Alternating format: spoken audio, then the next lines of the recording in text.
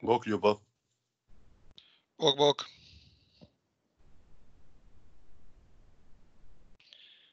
Evo, pričekat ćemo još tu minutu formalno, pa ćemo krenuti.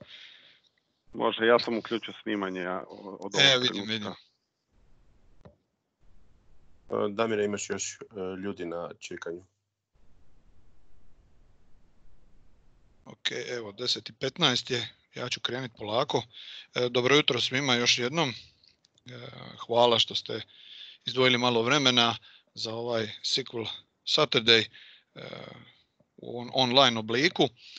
S obzirom da se radi o online predavanju, ja ću zamoliti da pitanja ako ih bude ostavimo za kraj, pa onda možemo produžiti koliko god je potrebno pošto nismo licem u lice, malo, je, ovaj, malo mi teže odgovarati na pitanja kad sjeckamo samu prezentaciju. Oprostite.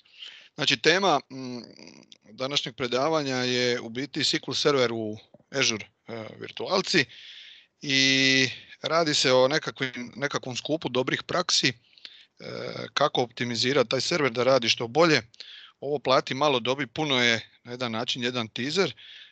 Odmah ću naravno kazati na početku da i u ovom slučaju kao i za sve u životu vrijedi ono koliko para, toliko muzike. Znači nemojte očekivati da bez obzira na stupanj optimizacije da ćete e, moći za ne znam 20-30 eura u Azuru e, imati nekakav e, SQL server koji vrti na tisuće transakcija u sekundi. Prije toga samo kratko, ja sam Ljubo Brodarić, radim u Atosu Hrvatska i uglavnom se bavim high availability i disaster recovery odnosno slažem platformu za moje kolege developere koji onda stavljaju razno razne aplikacije na te platforme.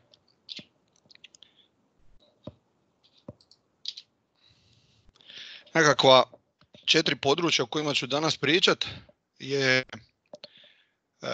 virtual machine size, znači određivanje same veličine virtualke koju želite deployati u Azuru, nešto o storage vrste storage koje imamo, što je preporučeno, diskovi, kako organizirati diskove, kako ih formatirati, koje su nekakve dobre prakse i na kraju još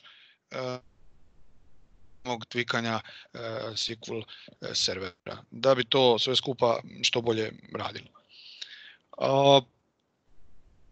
Da biste uopće odabrali virtualku, naravno potrebno je da znate nekakve parametre tog vašeg ili postojećeg ili budućeg SQL servera. Ako se radi o postojećem, bilo bi dobro da pokušate e, skupiti što je moguće više podataka kroz nekakve e, tulove, e, performance monitor i slično, da vidite u biti koliko točno taj vaš SQL server zahtjeva resursa.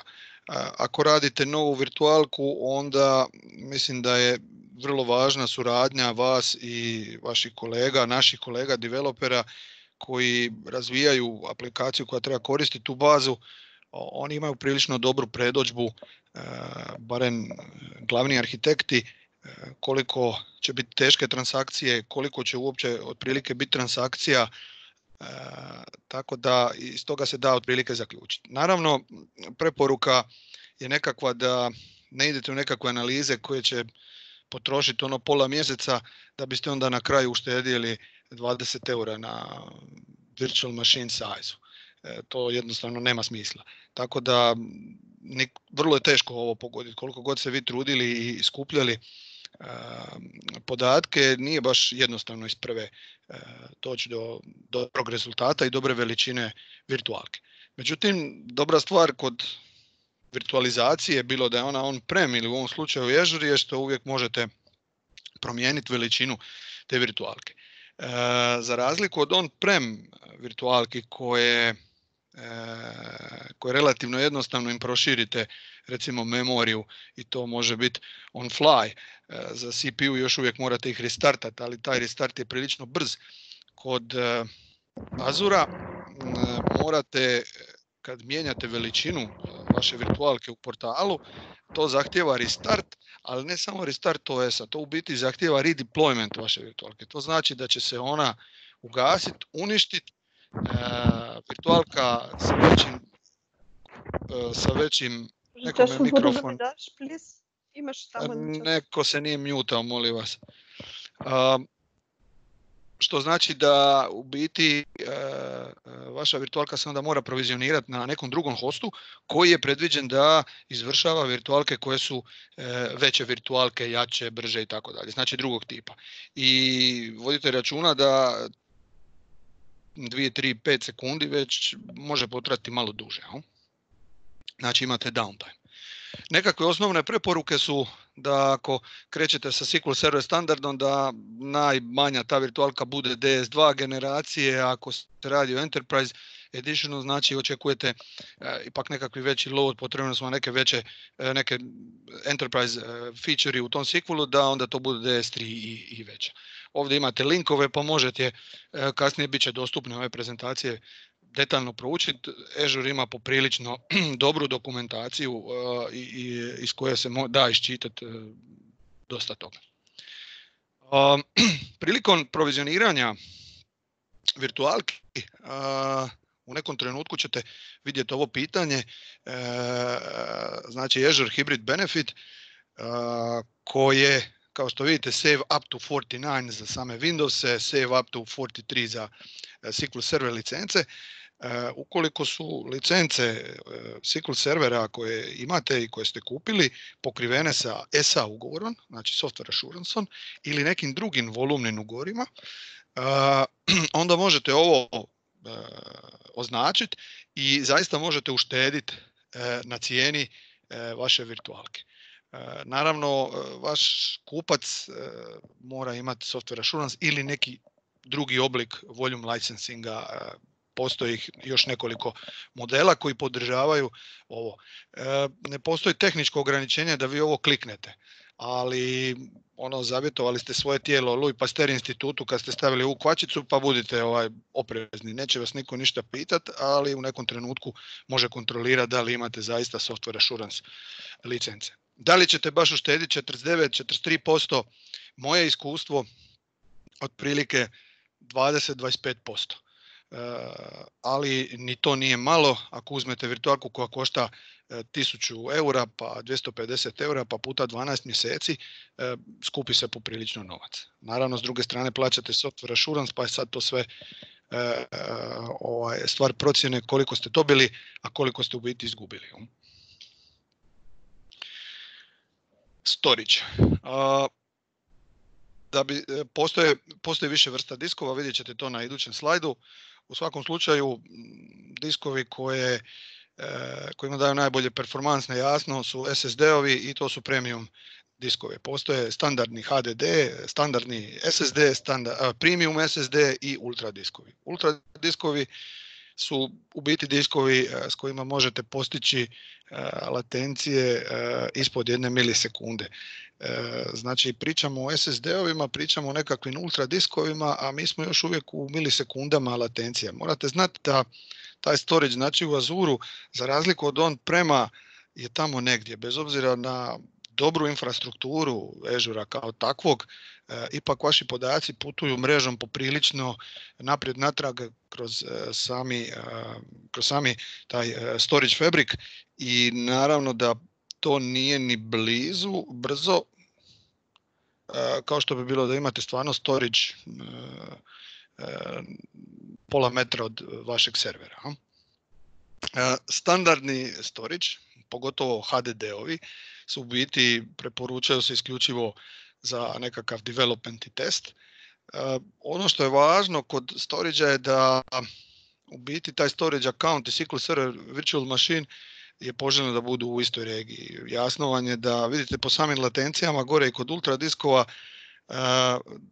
da, je, da postoji prilična latencija, znači dok se dođe do diskova koji su unutar samog data centra, sad zamislite ako se vaša virtualka vrti u ne znam, West Europe, a diskovi su van u Americi, nije baš optimalno.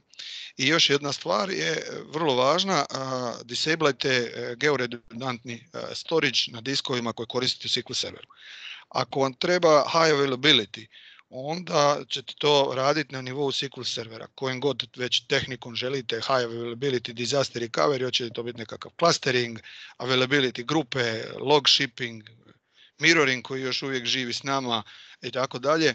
E, znači, e, visoku dostupnost i disaster recovery rješavate na nivou, znači na aplikativnom nivou, a ne na nivou e, storage Stvar je vrlo jednostavna, ako uključite georedundantni storage, informacije se moraju zapisati u jednom data centru, zapisati se u drugom data centru i definitivno imate usporenje.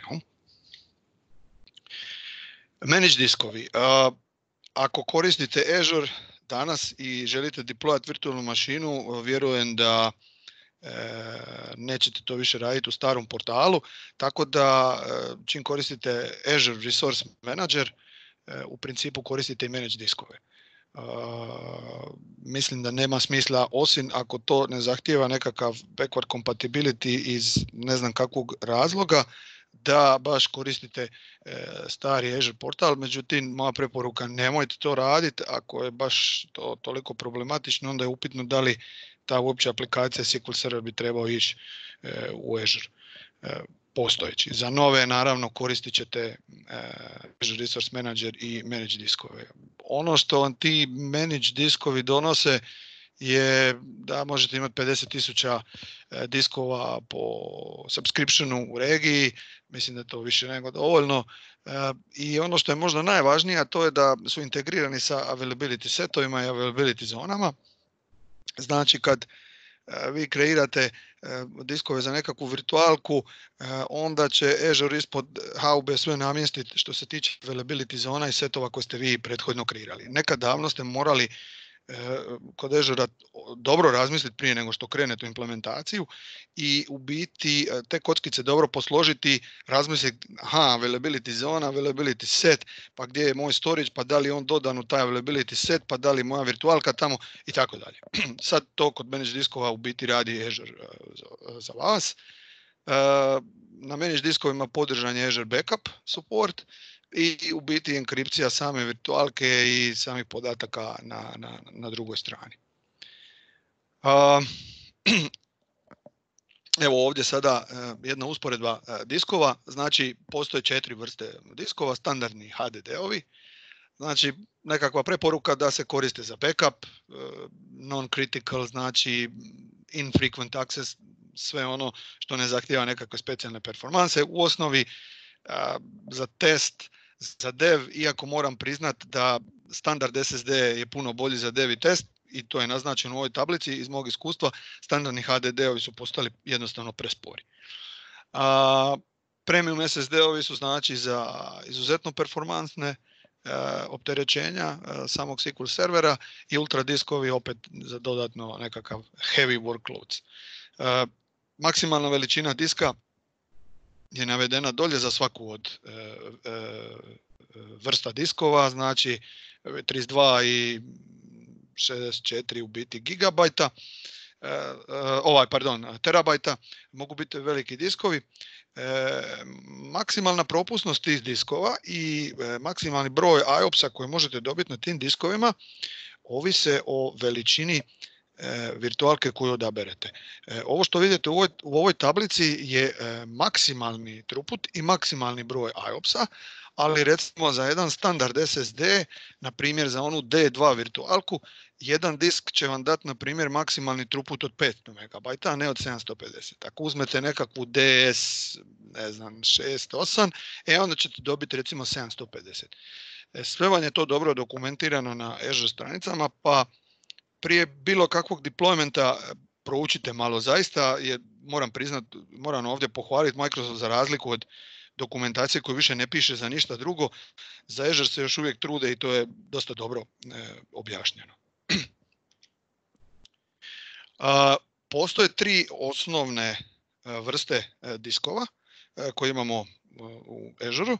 Znači OS disk, mislim da je sama da je jasno da se tu radi o naravno disku na kojem je preinstaliran e, operativni sustav i to je butni e, volum maksimalnog kapaciteta do 2 terabajta. Zatim imamo data diskove, to su diskovi gdje biste trebali vi držati e, znači svoje podatke. Kad pričamo o SQL serveru, naravno bazu, log i tako dalje. Maksimalnog kapaciteta do 32, odnosno čak i 64 GB ako uzmete onaj ultra diskove. I temporary disk koji uvijek ima oznaku D, to je disk koji je u biti se nalazi u hostovima, e, to su SSD-ovi koji se nalaze u hostovima i oni se kod svakog paljenja vaše virtualne mašine kreira se virtualni disk koji se zakači na vašu virtualku.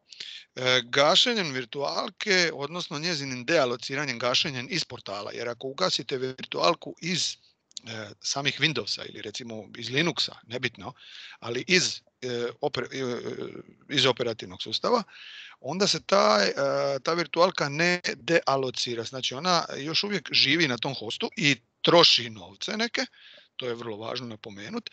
I u tom slučaju kod njezinog ponovnog paljenja, ako je ona ostala na tom hostu, vi ćete vidjeti taj sadržaj tog D diska. Međutim, u svim ostalim slučajevima nećete i preporuka je da se na tim diskovima ništa ne drži, ali vidjet ćete da mi možemo te diskove vrlo dobro iskoristiti, baš zato što su to lokalni diskovi u hostovima za, za smještaj nečega i za ubrzanje našeg SQL servera. kod provizioniranja virtualke u samom portalu, ono što je važno je da vas, ako odaberete virtualku iz one galerije dostupnih imidža koja već na sebi ima SQL server, da će vas onda u nekom trenutku sami Azure pitat ok, koliko želiš velike diskove i automatski će odvojiti znači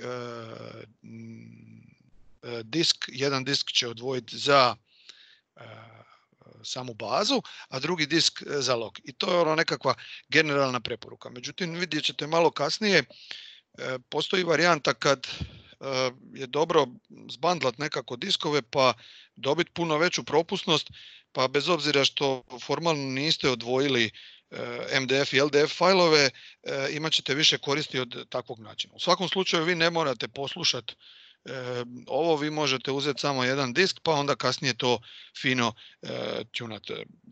Kazat ću kako. U svakom slučaju jedan od ekrana prilikom provizioniranja. I sad ono možda najvažnije kad pričamo o diskovima. Znači ukoliko odaberemo da to sve sleti na jedan disk pa odlučimo da mi želimo malo preurediti tu našu virtualku, ono što je važno je da generalna preporuka što se tiče keširanja je da se konfigurira samo read-only keširanje za data fajlove i da se ne konfigurira keširanje za log file. Sami log file, znate da je to u principu sekvencijalno zapisivanje i on nešto neće ovaj profitirati od bilo kakve vrste keša uključene na takvoj vrsti diska. Imajte na umu da ukoliko želite promijeniti keširanje diskova koje ste već provizionirali, zakačili na vašu virtualku i tako dalje i želite promijeniti to keširanje, da onda zaustavite SQL server. Budite vrlo pažljivi jer ako to napravite dok ta virtualka radi možete izgubiti podatke. Tako pažljivo sa promjenom keša. U svakom slučaju držite se ove read-only cache za data files ako ste razdvojili data filove ili no cache za log file. Oba file sistema, barem što se tiče Microsofta, su podržana, znači NTFS i RFS. Ja iskreno nemam ni jedan trenutno produkcijski server na RFS-u, iako sami RFS kao takav podržan je unatrag nekoliko verzija SQL servera, ima neke svoje dobre osobine, a to je da ima integrity streams, znači kao jednu od svojih featura ugrađenih, znači ispravlja u letu podatke, tu je i scrubbing kao funkcionalnost i tako dalje, ali u početku je bilo problema, mi smo zamijetili da recimo nekih 5-6 mjeseci sve radi fantastično i onda dođe do nekakvog usporenja na RFS-u. Kad smo radili nekakva testiranja i nismo se usudili otići na RFS, ali kažem, oni su podržani službeno jedan i drugi, trebali bi raditi, nismo probavali relativno nedavno, nismo imali projekata, pa u ovom trenutku ne mogu vam iz prve ruke kazati je li se to sve skupa popravilo ili, ili nije. I sad disk stripping. Znači prije sam kazao, on će vam u portalu ponuditi vaš SQL server da vi fino odaberete jedan disk za datu, jedan disk za log. Međutim, ako želimo tu stvar još više ubrzati i, i napraviti to puno bolje, moje je, moj je savjet da u biti zakačite e, onoliko diskova koliko uopće ta vaša e, virtualka može e, primiti ili barem 3-4 diska i da onda iskoristite nešto u Windowsima što se zove Storage Spaces. A Storage Spaces je u biti tehnologija koja vam uzme diskove koji su na raspolaganju i toga napravi jedan veliki virtualni voljum, odnosno veliki virtualni disk. Preporuka je da u biti ovdje definirate nešto što se naziva simple e, volume, a to bi u, u nekoj drugoj terminologiji mi kazali RAID 0. E, naravno da RAID 0 ni u ludilu ne biste napravili u fizičkom svijetu jer znate da ukoliko dođe do kvara jednog od diskova sve ste izgubili. Međutim, zašto to možete napraviti u Azuru? Zato što e, svaki disk koji je zakačen na vašu virtualku ima svoje tri kopije unutar data centra. Tako da ukoliko dođe do e, problema sa e, zaista diskom koji je zakačen, ono što će Azure napraviti ispod haube da će samo mountati drugu kopiju. Vi to, odnosno SQL server može vidjeti kao mali nekakav IO stol i to je sve. Također, e, preporuka je da stripe size bude 64 KB za e, online transaction processing. Ako baš se bavite data warehousing, onda, onda to bude 256 KB. Što znači ovo stripe size?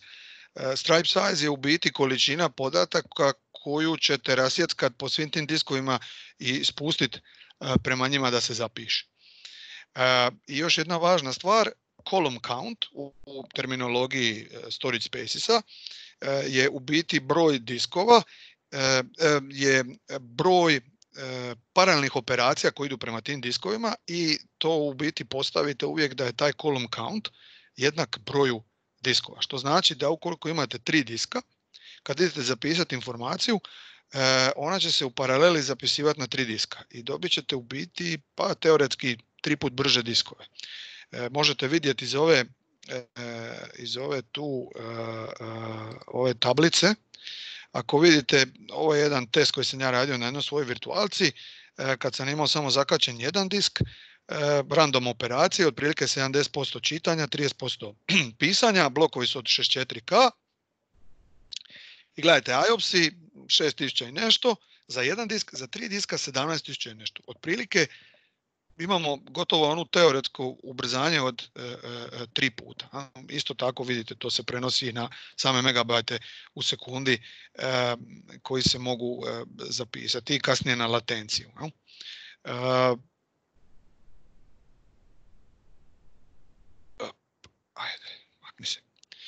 Još jedna važna stvar kod formatiranja diskova, neka vam na location size unit bude 64 KB. Znači iza data, iza log, iza tempdb. Ja često e, vidim kad e, gledam SQL servere da obično diskovi nisu formatirani su e, ono next next finish. Formatiranje sa 64 KB allocation unit size će ubrzati vaš SQL server, vjerovali ili ne, pa negdje, zavisnosti od toga što taj SQL server radi, do 20% može ubrzati ako to formatirate na 64K, a ne na 4K e, nativno. E, ja ću samo se sad sekundu prebaciti u jednu moju virtualku. E, je li vidite ovo? Može mi neko potvrditi samo da vidite? Da, da. Super. Znači ovo je jedna virtualka koja se vrti u Azure i da vidite kako sam ja organizirao recimo diskove na kojima se nalazi, nalazi baza i log. Znači ima nekakav SQL Server Storage Pool korištenjem te uh, Storage Spaces tehnologije Ja sam tu napravio jedan virtualni disk, layout je simple, to znači prevedite to u RAID 0. Uh, ukupni kapacitet je 45, a gledajte, e, dio tog pula su u biti tri diska od 16 giga. Znači, tri diska od 16 giga su zabandlana zajedno, napravljen je jedan virtualni disk od 45 giga i u principu kad vi zapisujete informacije, e, zapisujete ih u biti na sva tri diska istovremeno, što znači da imate teoretski tri puta brži storage nego biste ga imali e, e, normalno. ok. E sad, mini max server memory. Počev od SQL servera 2019, ako ga vi, ako ga vi sami instalirate, imat ćete dijaloški ekran u kojemu će vas pitati sami setup, odnosno predložit će vam neku e, vrijednost za maksimum server memory. E, do sad to nije bio slučaj, već je to bilo ono defaultno 2 pentabajta koliko već.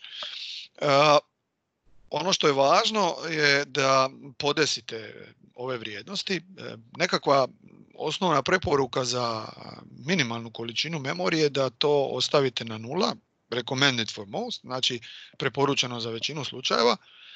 E, često se zna da ljudi setiraju max na iste vrijednosti, e, nemojte to raditi. Ako vam baš i treba neka vrijednost minimalna, onda pokušajte to procijeniti. Kad postavljate minimalnu vrijednost, pa najčešće ako vaš SQL server ima više instanci, pa želite osigurati da će on ipak imati nekakvi minimalni, e, minimalnu količinu rama kod paljenja, međutim to može biti dvosjekli mač pa onda možete e, doći u situaciju da vam se uopće neće startati SQL server iz razno raznih razloga. I kad setirate naravno maksimalno, ostavite prostora za e, sami OS nekakva preko, preporuka je 10% ili 4 giga, znači 10% uh, memorije, ako imate dosta rama, ili minimalno 4.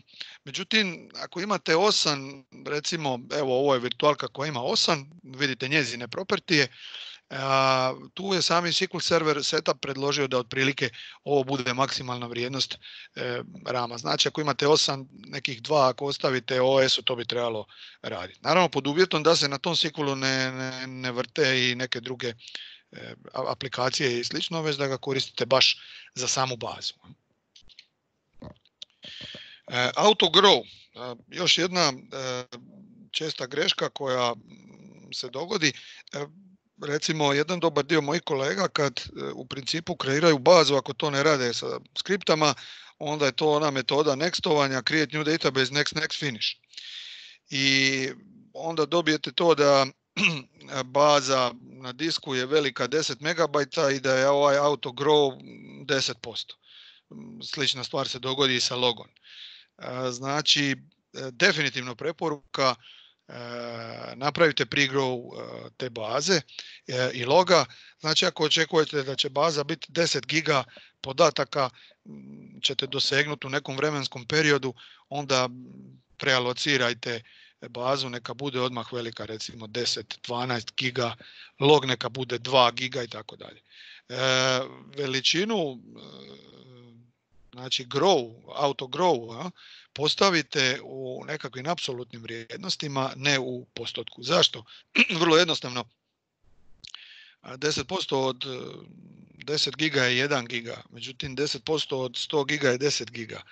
E, što znači da u kombinaciji sa još jednim parametrom koji ću vam pokazati e, malo kasnije, znači vi morate, da biste bazu proširili za 10 giga, morate u biti zapisati još dodatno 10 giga. Ako ostavite to u postocima, dobit ćete strašnu fragmentaciju također. Tako da je puno bolje da, e, da ta vaša baza e, znači bude e, odmah predefinirane veličine. Lock pages in memory.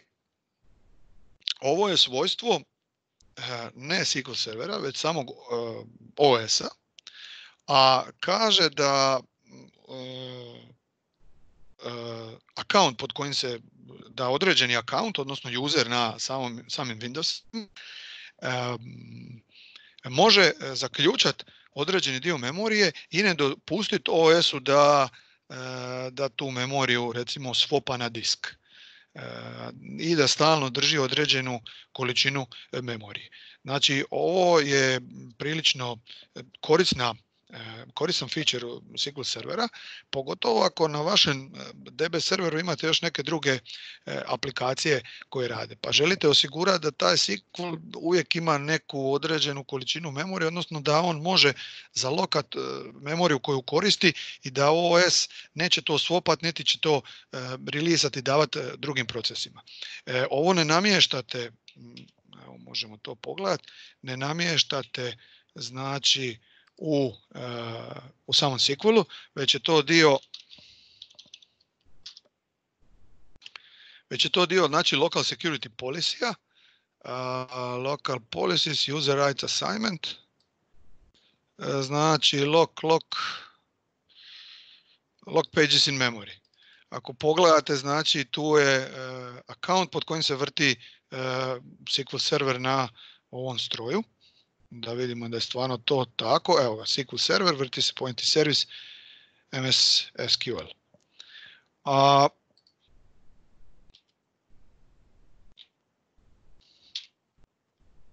instant file initialization. Još jedna od e, e, stavki koja je u biti e, svojstvo operativnog sustava, a nije samog SQL-a. E, kod e, setupa SQL servera 2019 opet imate dijaloški e, okvir koji vas pita da li želite uključiti instant file initialization. E sad, taj instant file initialization u SQL server terminologiji je u principu u samim ovim polisima kod OS-a se naziva perform volume maintenance task. Da, stvar, zašto jednostavno kad može komplicirano naravno. I ovo svojstvo kaže da e, kad e, recimo vaš SQL želi proširiti e, veličinu baze, recimo želi uzeti još 10 giga prostora na disku jer ste vi namjestili da vaša baza kad se napuni raste u inkrementima od 10 giga, onda naravno SQL kaže OS-u molim te daj mi još 10 giga prostora i zalijepi mi to na ovaj postojeći MDF file kojeg ja imam. E, ono što će OS napraviti, uzet će 10 giga prostora na disku i ukoliko nije uključena ova opcija, znači perform volume maintenance task, odnosno niste dodali SQL Server account e, u ovaj policy, e, onda će vam u biti OS raditi zero fill na tih 10 giga. Što znači da prilikom širenja vaše baze za 10 giga,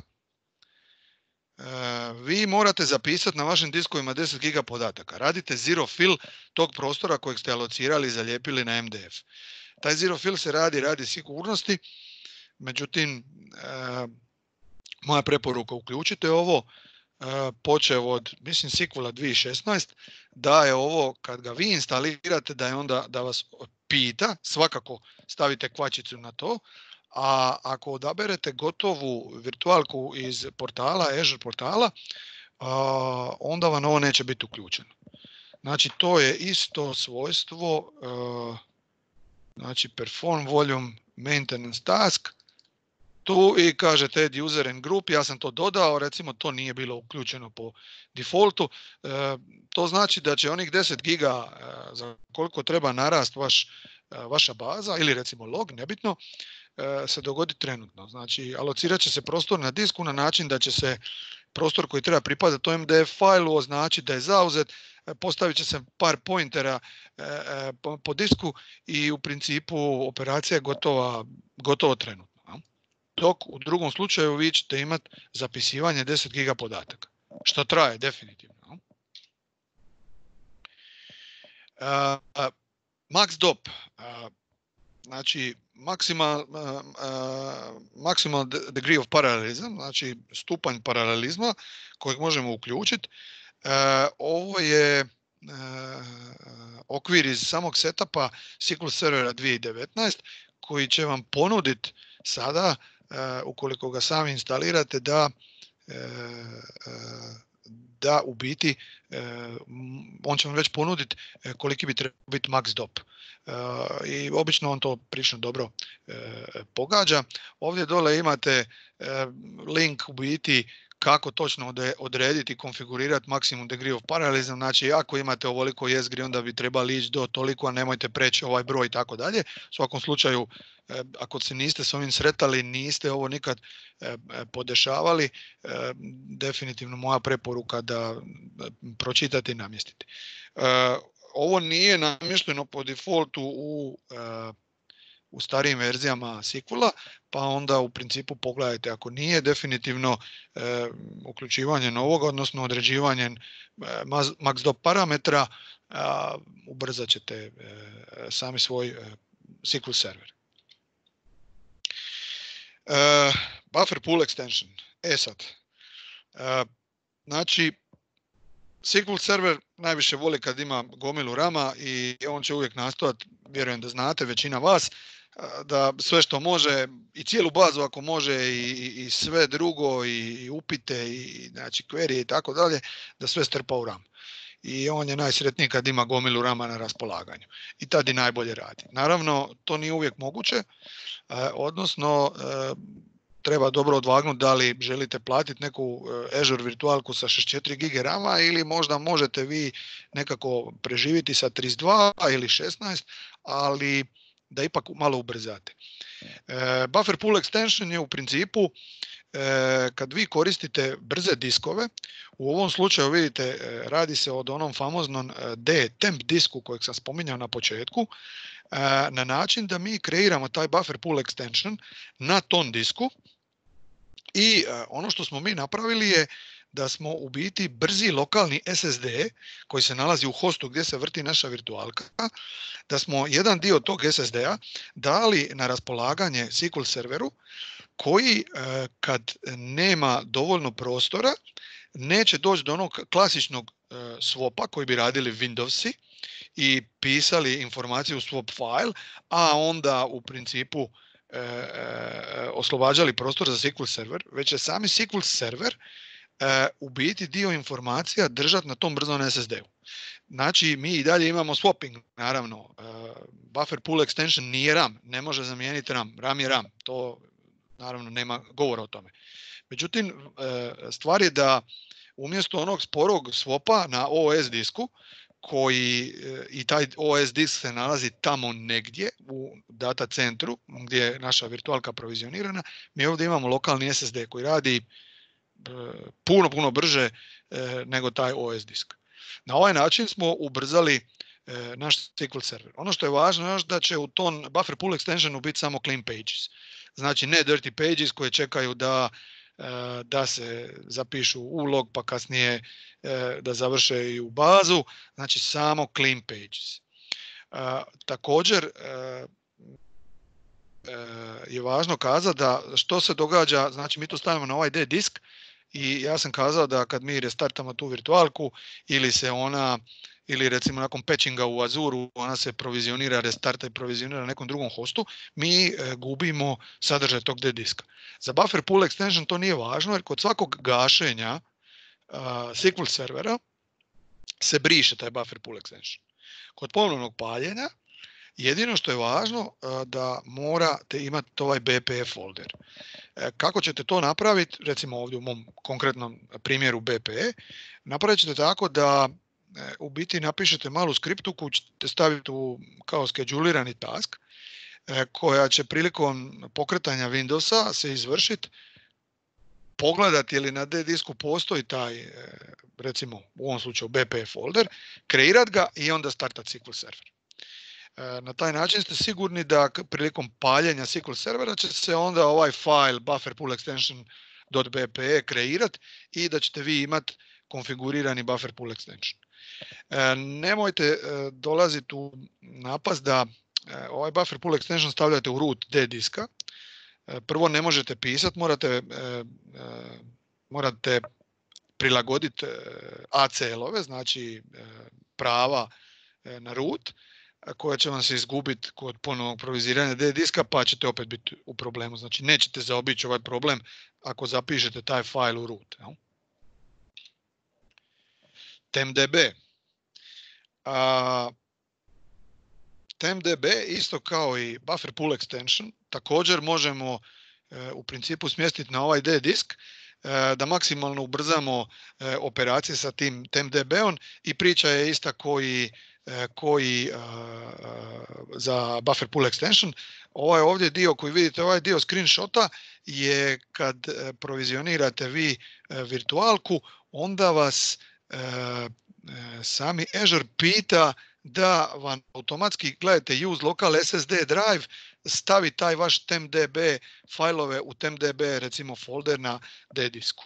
I onda vam se on pobrine ispod haube da napravi sve da kad, kod ponovog paljenja ili e, reprovizioniranja tog e, VM-a vi imate e, taj folder. Definitivno preporuka. TempDB i onako znate da ukoliko ga nema će se napraviti prilikom paljenja, SQL servera, a kod svakog gašenja u principu kompletni sadržaj TMDB fajla se dropa onako. Tako da ga možemo staviti na ovaj privremeni D disk. Ista priča kao i s onim malo prije. I e, mislim da je ovo blizu kraj. E, još neke e, stvari, znači disablajte nepotrebne SQL Server servise. Kad odaberete virtualku iz Azure portala, onda će vam u principu E, instalirat će vam se sve živo. I analysis services i integracijski servisi i reporting servis. Možemo to i vidjeti imat ćete gomilu servisa. Vidite dobijete gomilu servisa s tim da ovdje neke sam ja čak deinstalirao pa ako ste željeli samo DB engine i ništa drugo ne morate deinstalirati, ali barem stavite na menju ili poubijajte te servise koji vam ne trebaju. Znači, za ništa vam rade ti servisi, jedu procesorsko neko vrijeme i tako dalje. E, enablajte soft numu, znači za, pogotovo za mašine koje imaju gomilu rama. To važi za starije verzije SQL servera sve od 2014 SP2. U principu ovaj soft numa je konfiguriran, znači non-uniform memory access, optimizacija pristupa velikoj količini rama u zavisnosti od broja jezgri koji se nalaze, e, procesorski jezgri koji se nalaze u samom SQL serveru. Ovo je dobro e, definitivno i konfigurirati za i on-prem i tako dalje.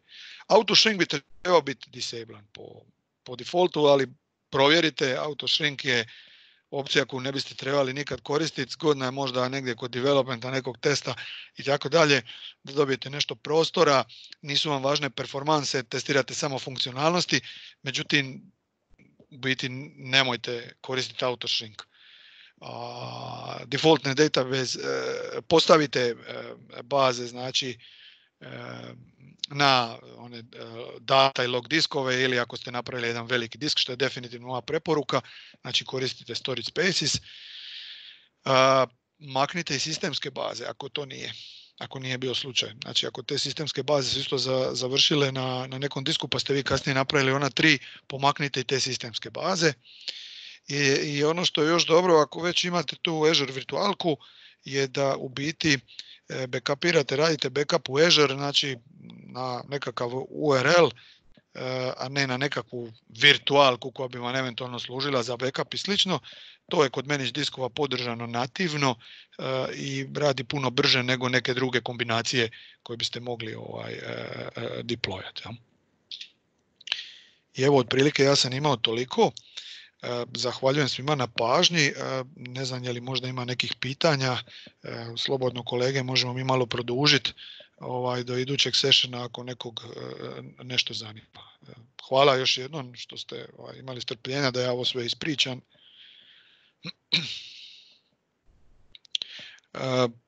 Ako nekog nešto zanima ili u nekoj nedoumici pa i danas niko ništa ne pita, slobodno me možete kontaktirati ako vam mogu pomoći, nije nikakav problem, rado ću to napraviti. Ima neko pitanje? Hvala, možda?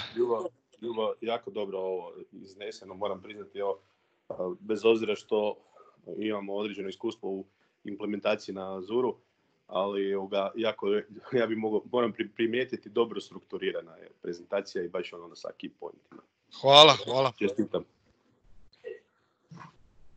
Hvala puno Ljubo, ja ću sad zaustaviti snimanje. A, neko iz ekipe ima pitanja, nek slobodno e, pita u nastavku, a onda za pet minuta počinju druga predavanja. Hvala puno. Može, hvala.